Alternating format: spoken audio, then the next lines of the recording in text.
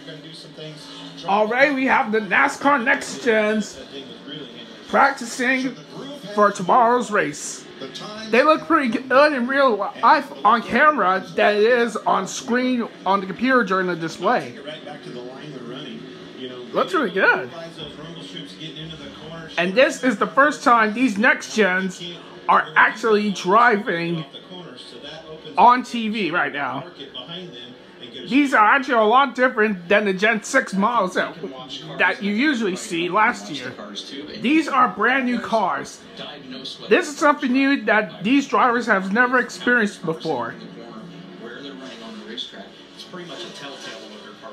And the Los Angeles Coliseum definitely has a crossover look to Bristol Motor Speedway and Martinsville Speedway.